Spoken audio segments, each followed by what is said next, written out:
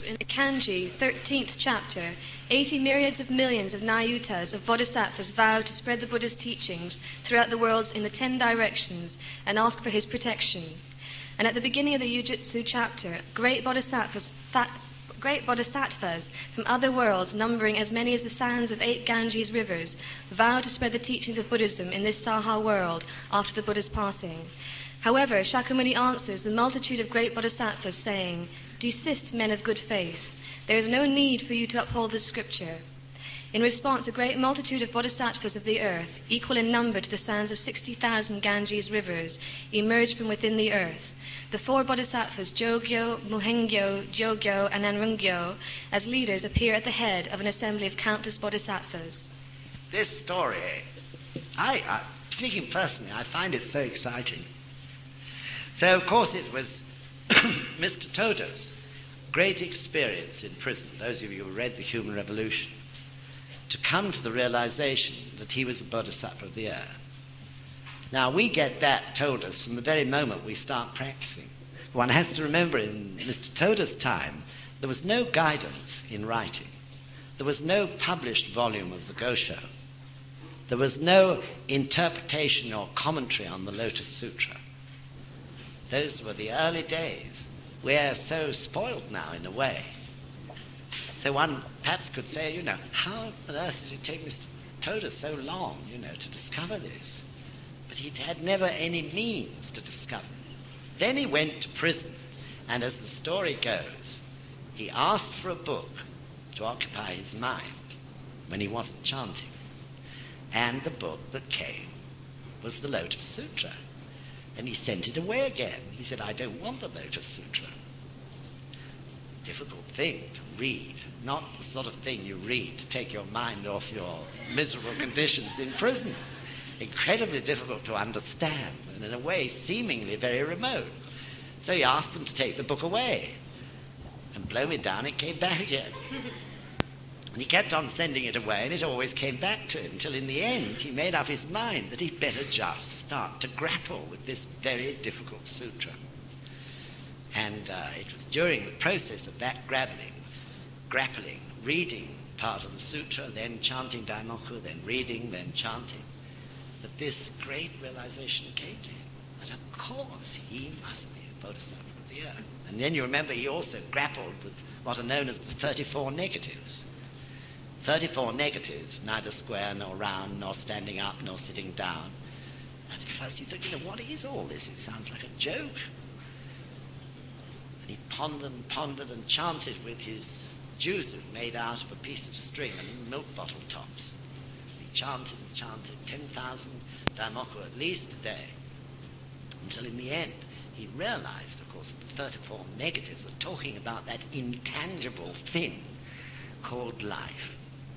And what this Buddhism was all about was life itself, his life and the life of the whole universe. And uh, the law, which is the heart or essence of every living thing. So, what a moment it must have been. It's very graphically shown in the film of the Human Revolution, which unfortunately uh, hasn't got the copyright to allow it to be spread worldwide, which is a great pity. Um, so it's rarely that we see it, though they did smuggle a copy into Tretz. So if you're ever at Tretz, if you're ever at Tretz, you could ask to see it. Uh, but it's, I think, wonderfully well portrayed, considering it was done by a commercial company uh, and indeed actors, actresses, and so on, who were not uh, practicing Nichiren Daishonin's Buddhism. So uh, Shakyamuni turns to all these other bodhisattvas who stand up and says, Desist, men of good faith, there is no need for you to uphold this scripture, and actually goes on to say to them, you know, you really haven't got the qualities necessary to spread the true teachings in the evil age of Mappo which is the age that we all live in now, the beginning of the latter day of the law. And he said, you know, as he said that, then all these other bodhisattvas appeared out of the ground. The point is that although this is an allegory, this is Shakyamuni's way of describing the spread and development of Buddhism in the future. But nevertheless, although it was an allegory used by the Buddha to explain the future in terms of what we call the ceremony of the air and the treasure tower and so on. We were there, each one of us. And every time we do Gongyo, we're there again. Because Nichiren Daishonin said, didn't he, when he inscribed the Gohonzon, that it was an exact representation of the, the treasure tower and the ceremony in the air. In other words, he said, as exact as the print matches the woodblock.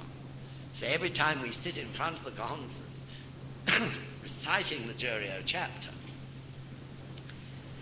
doing Gongyo, we are actually reenacting every day the ceremony in the air. And Gicho's hot air balloon, of course, is the treasure tower. The treasure tower, which in the Gosho, Nichiren Daishonin explains, actually represents each one of our lives. Each of us is the treasure tower. He said to a Butsubo, didn't he? The Gosho called on the treasure tower. Butsubo is the treasure tower. The treasure tower is a Butsubo. So each one of us actually is the treasure town. Each one of us has within us the Buddha of wisdom, Shakyamuni, and the Buddha called Taho, who represents uh, the benefit and good fortune can be drawn from outsiders towards us through the workings of our Buddha state. All the other attributes, all those glittering gems, this is our life. So in Gongyo, we, we can gradually, each day, get a glimpse of this because we feel uplifted if we do a great Gongyo. And the more, in my experience, the more years we go on doing Gongyo, the more that uplifting occurs very rapidly until you know you really long to do Gongyo every day. So this experience uh, is a daily occurrence for us. And this helps more and more, of course, to open our lives, as I was saying earlier, to open up our minds to the fact, you know, that it's true. You know, we are Buddhas. Buddhahood exists in us. At the same time, we are bodhisattvas of the earth. So perhaps when we did this Gongyo before this, this afternoon began, it was an incredible Gongyo. The young men had all heard this first. Maybe they were feeling it. I hope too, when you do Gongyo today, if you haven't already done it, that you feel it too. And from then on, every day, that incredible Gohonzon, you know, which is the treasure tower, is actually nothing else but a mirror of your life. If you can only, through working away at it, day after day, year after year, open your minds to the fact that it is so. Because the mind is the enemy, isn't it? Okay, Sanda. I would like to point out here that the character Gyo, meaning practice, is included in the name of each of these four bodhisattvas. Gyo means behavior, not theory. In Nichiren Daishonin's Buddhism, Gyo, or practice, is most essential. Without practice, one could not say he was embracing the Buddhism of Nichiren Daishonin, and there could be no hope for widespread propagation in the future. The character Gyo is also part of the word Gongyo, the practice which we carry out every morning and evening, here it means to practice the law assiduously, or on further reflection, the gyo in gongyo can also be taken to mean practicing unremittingly. I think it is correct to understand the character gyo to indicate the attitude of maintaining a steady practice of gongyo. Now the whole assembly is very surprised to see the emergence of the bodhisattvas of the earth. Representing the multitude, Bodhisattva Miroku explains that though he has come to this Saha world many times and been born in countless worlds in the other directions and possesses knowledge about all things, these great bodhisattvas are a mystery to him. He asked Shakyamuni to explain who they are and his relationship to them. In response, Shakyamuni clarifies that the bodhisattvas of the earth are his original disciples, saying, I have taught these people since the remotest past. Thank you. So the story goes on, and uh, here Miroku says in this story of the ceremony in the air that he has come to this Saha world many times and been born in countless worlds in other directions. In other words, the first point we can gain from that is that we haven't only lived our many lifetimes on this planet. Of course not. Even this planet has a beginning and an end. It has a cycle of life, right? So in the eternity of our lives, we've been born in many planets. Buddhism is, has always said that life, or the Buddha's land, you know, that there are many of them throughout the boundless universe.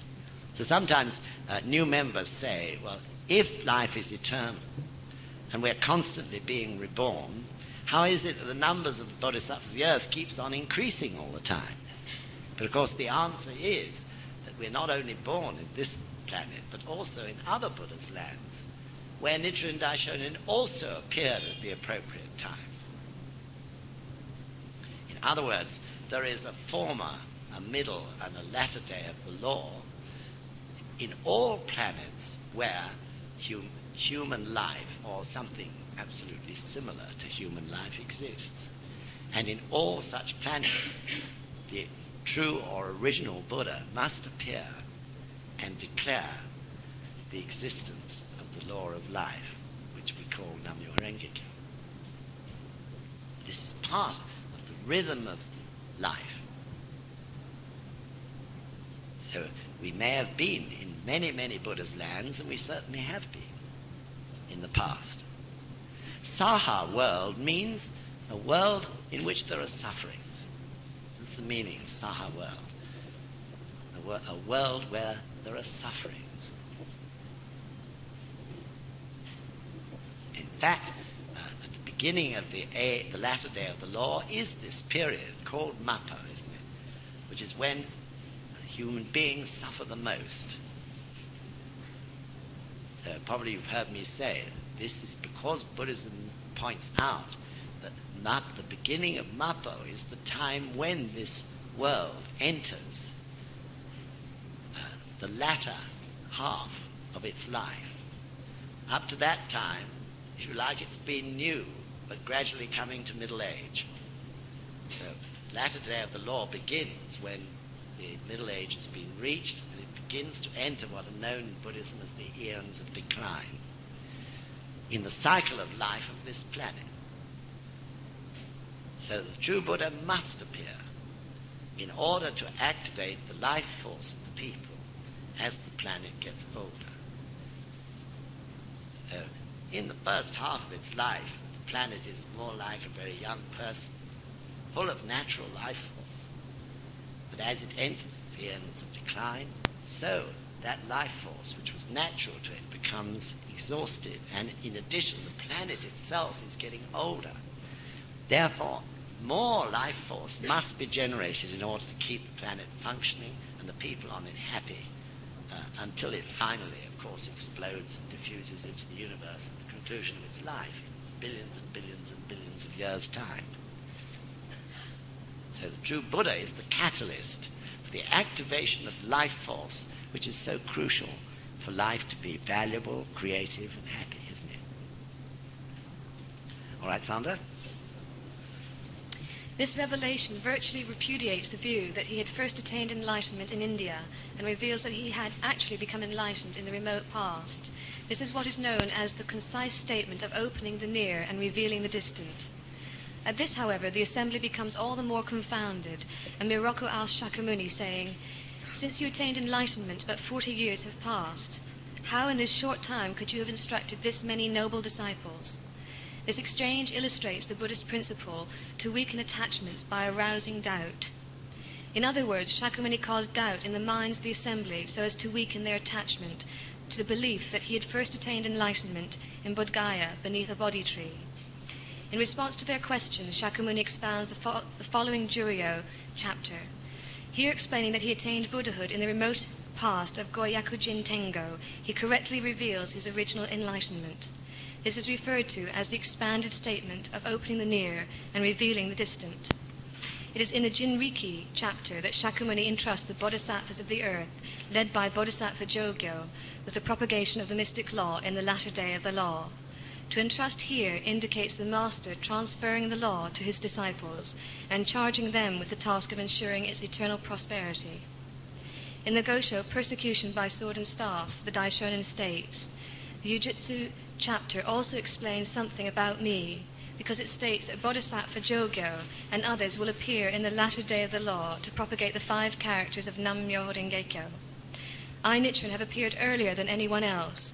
How reassuring to think that I will surely be praised by bodhisattvas equal in number to the sands of 60,000 Ganges rivers. As stated in the line which reads, I, Nichiren, have appeared earlier than anyone else, Nichiren Daishonin was the first was the first to begin chanting Nam Myoho Renge and the one to initiate its propagation. Nam Myoho Renge is the original seed of Buddhahood. Though Tiantai and others chanted Nam Myoho Renge before the Daishonin's advent, their practice was strictly for themselves. Jigyo, it did not include initiating others, Keita. The phrase in the above cited passage which states, I will surely be praised by the bodhisattvas of the earth, reflects the Daishonin's modesty. He is the incarnation of Bodhisattva Jogyo, the leader of the bodhisattvas of the earth, because he is the one who is fulfilling the task of propagating the mystic law in the latter day of the law, as pledged by the Yujutsu chapter. However, this is still a shallow understanding of the matter. Okay, I think we'll go on. In the true object of worship, the Daishonin states, now is when the bodhisattvas of the earth will appear in this country and establish the, establish the supreme object of worship on the earth, which depicts Shakyamuni Buddha of the essential teaching attending the original Buddha. This object of worship has never appeared in India or China. In other words, though in his outward function Nichiren Daishonin acts as the leader of the bodhisattvas of the earth, who was entrusted with the propagation of the mystic law by Shakyamuni, he is in fact the Buddha of Kuon Ganjo, or time without beginning. It is precisely because he is the original Buddha that he was able to inscribe the object of worship in which Shakyamuni Buddha of the essential teaching is depicted attending him. Concerning the significance of the appearance of the bodhisattvas of the earth, the Yonggi Kuden states, Nichiren and his disciples who chant Nam Myoho Renge Kyo are the bodhisattvas who emerged from the earth. You should not suppose this to refer to any apart from them. Now, in the latter day of the law, Nichiren Daishonin and his disciples are the bodhisattvas who emerged from the earth. There are no followers of the bodhisattvas of the earth apart from us who are striving to accomplish Kozenrufu. Strictly speaking, bodhisattvas of the earth refers to Nichiren Daishonin. As emissaries of the Daishonin in the present evil latter age, we embrace the mystic law and advance Kozenrufu. Hence, we are the followers of the bodhisattvas of the earth.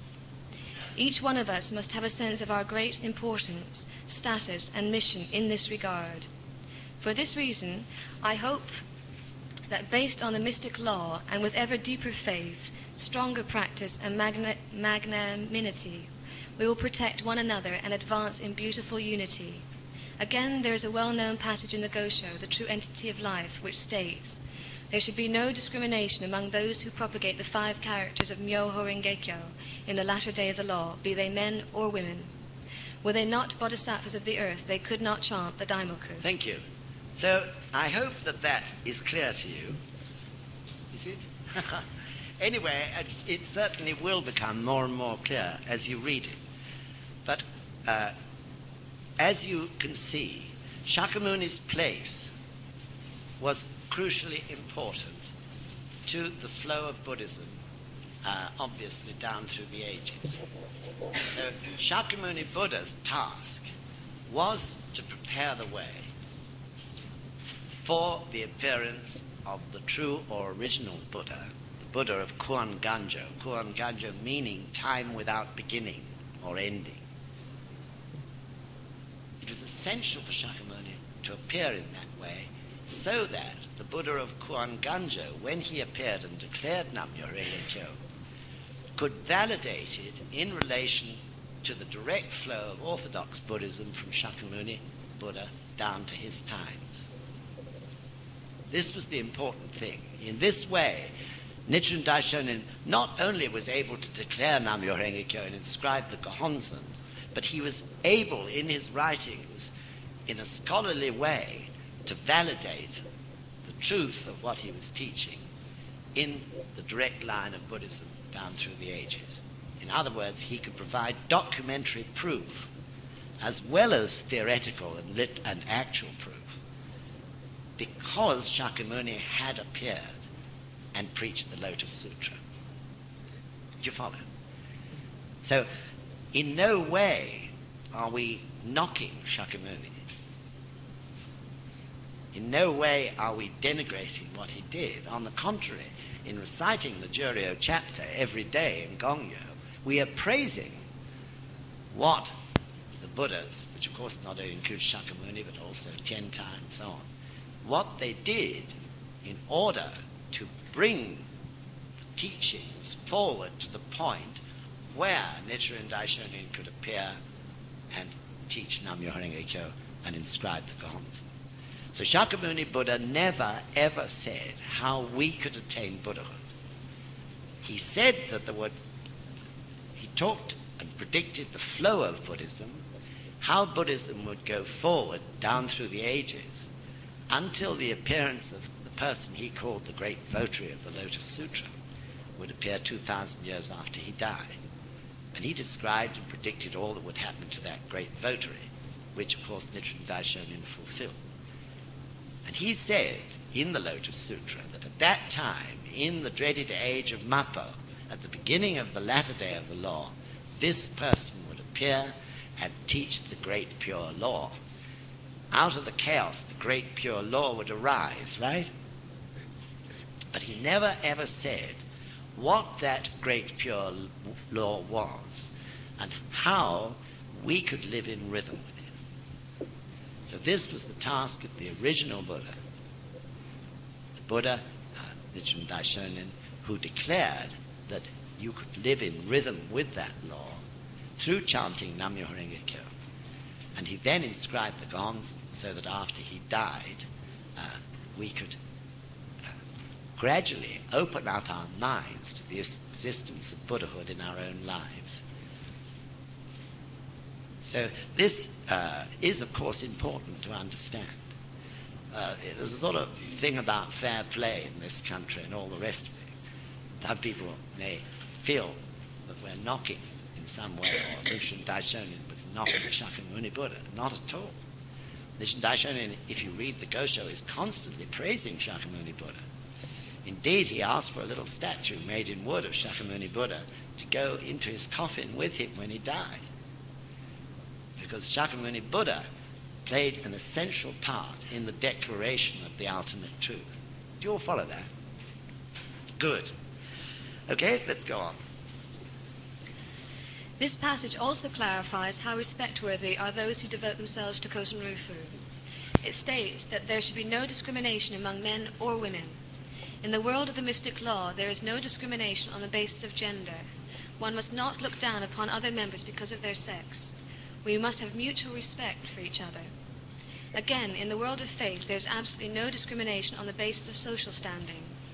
Regardless of who someone may be, all people are equal before the Daishonin. This is a very important teaching of Nichiren Daishonin's Buddhism. The passage continues. Only I, Nichiren, at first chanted Nam-myoho Renge Kyo, but then two, three, and a hundred followed, chanting and teaching others. Likewise, propagation will unfold this way in the future. Doesn't this signify emerging from the earth? With this passage engraved in our hearts, we have been struggling for the realization of Kozen Rufu, and to the present our movement has advanced exactly as it describes. This is a time unprecedented in the history of the world, when friends embracing the true teachings of Nichiren Daishonin are carrying out vigorous activities throughout the country and in all parts of the world. We have achieved this in Japan despite a continual onslaught of malicious accusations.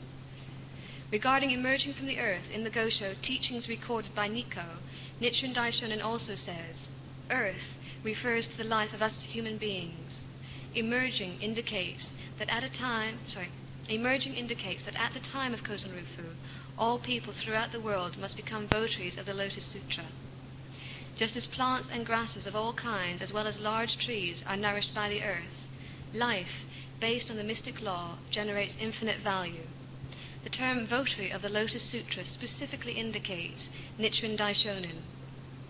Generally, however, it refers to all people who are seeking to accomplish Kosen Rufu in accordance with the Daishonin's teaching. This passage indicates that a time will come when the Daishonin's teachings have, be, have been put into practice, a time when Buddhism has been widely spread and people throughout the world recite the Daimoku as votaries of the Lotus Sutra. This will be a time of emerging from the earth in the true sense. I do not think I'm alone in sensing that we are now approaching just such a time. I think we can all agree with Sensei there.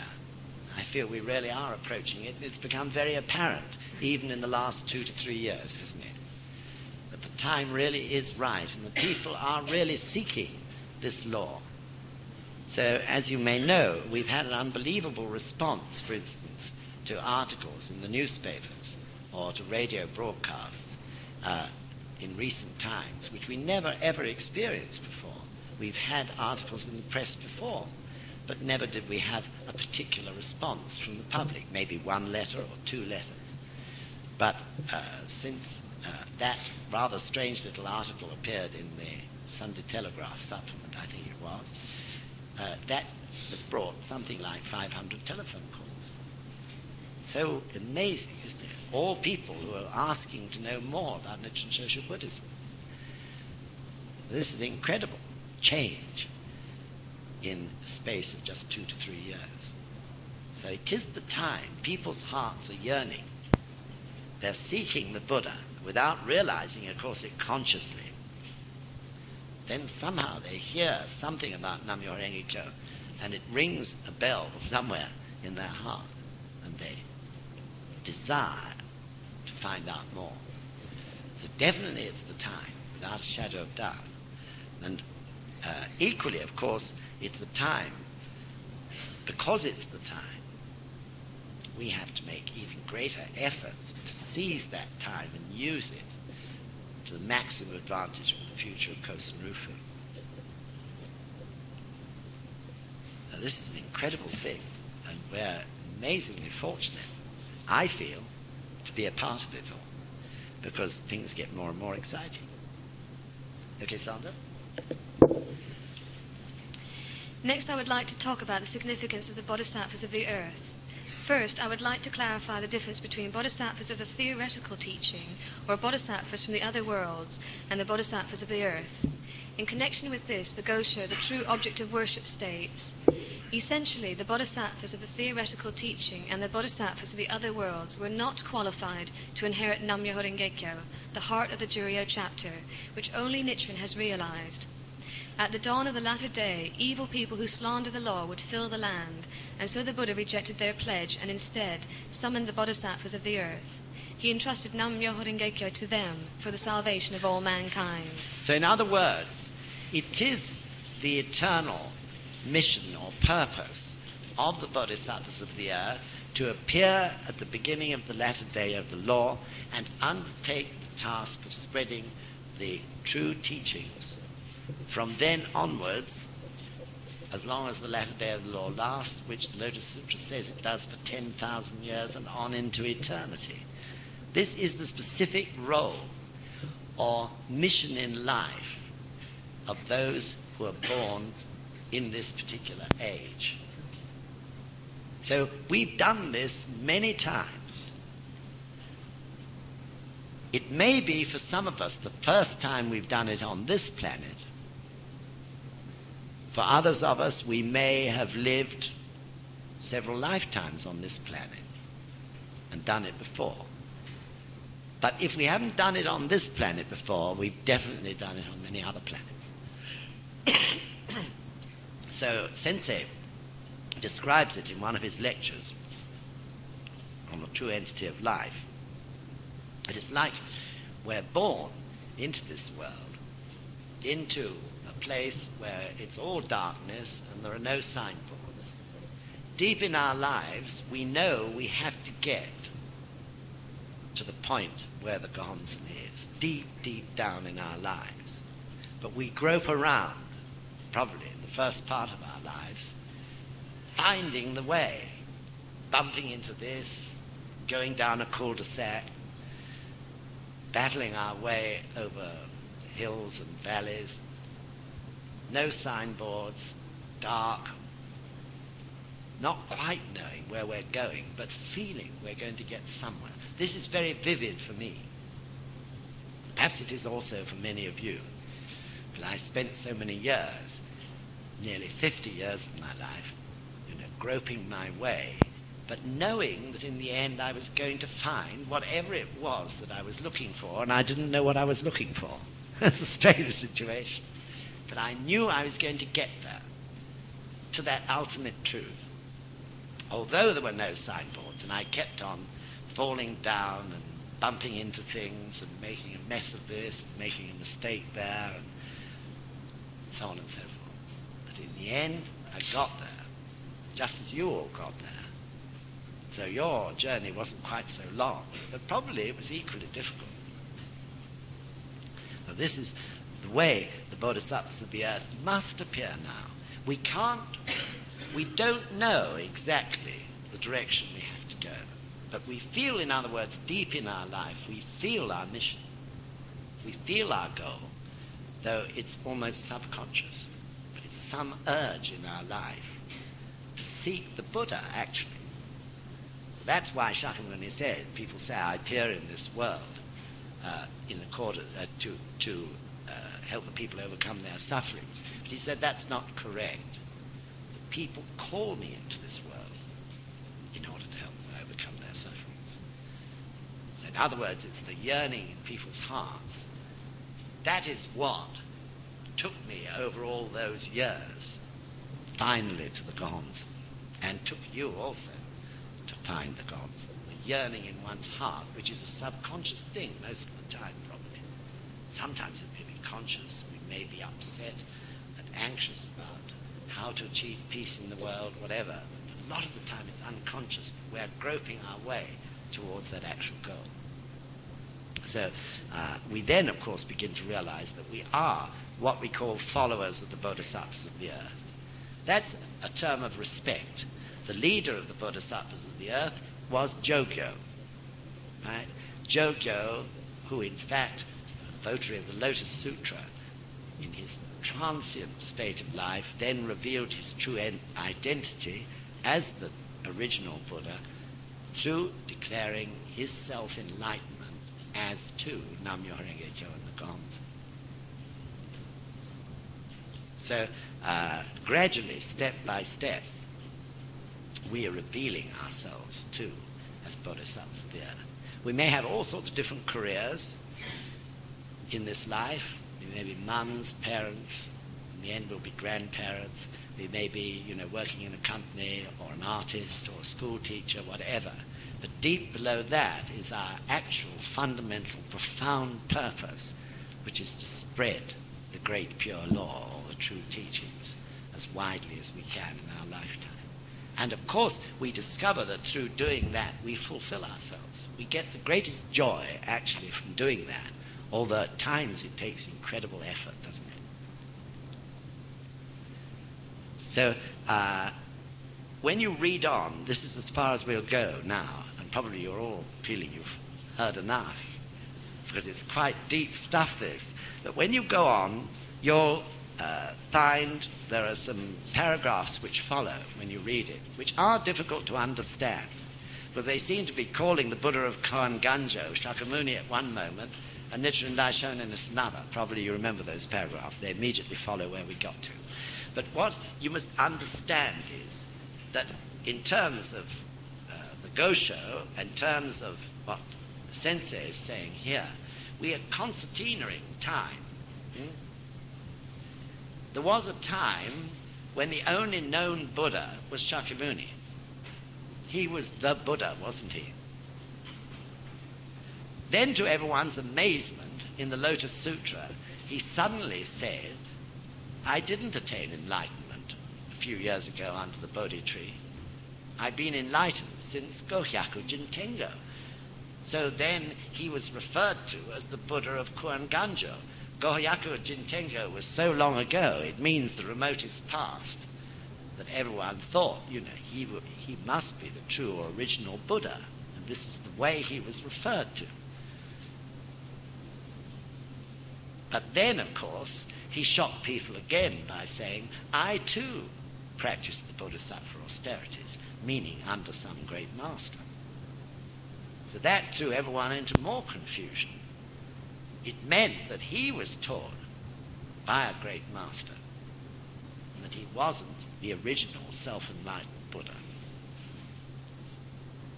So gradually, Shakyamuni Buddha, of course, was leading people to understand that in due course, uh, at the beginning of the latter day of the law, someone even greater than he would appear and teach the great pure law which would exist for 10,000 years and on into eternity.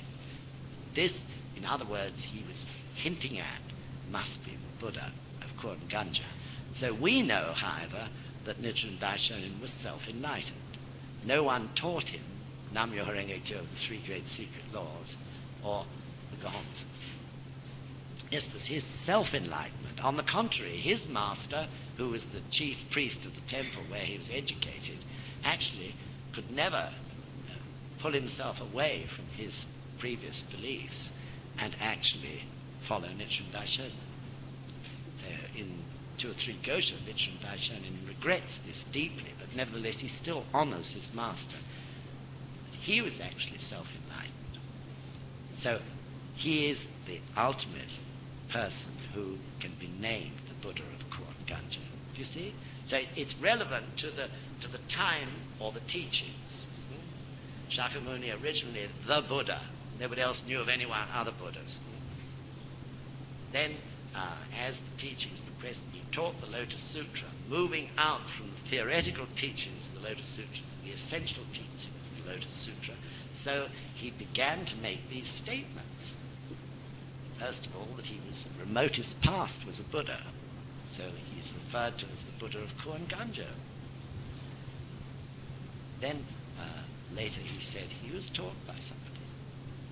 So that took Buddhism another stage, in depth, if you like, or profundity, to the point where it becomes clear that Nichiren Daishonin is the true Buddha. And what is more, he appears, you know, in countless different worlds in the latter day of the law, in each one of those worlds.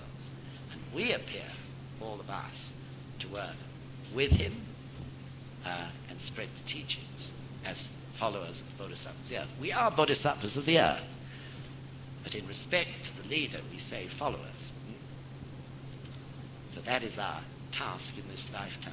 That's why you're all here together today. That's why I said at the beginning, you know, in this amazing web existence called life, you've all been doing this before. I can't say that you've been members of what was called a New Century group before, but probably something similar. Who knows? Because this is our eternal task in life. This is our purpose in life. Those of us who are born in this age. And those of us, millions of them, who will appear in the future out of the earth when their karma is ripe and when they've made the causes to uh, find the and, and overcome periods when they slandered and so on. And this is why we are born with karma, so that everyone can relate to us, so that everyone can see that we're, well, really quite ordinary human beings. Therefore, they're willing to talk to us about their problems, and we can give them Namyo Okay, everybody. So uh, we'll look forward now to the next session, month's time, and then we'll begin right in with Buddhism and politics. Okay, thank you for listening patiently.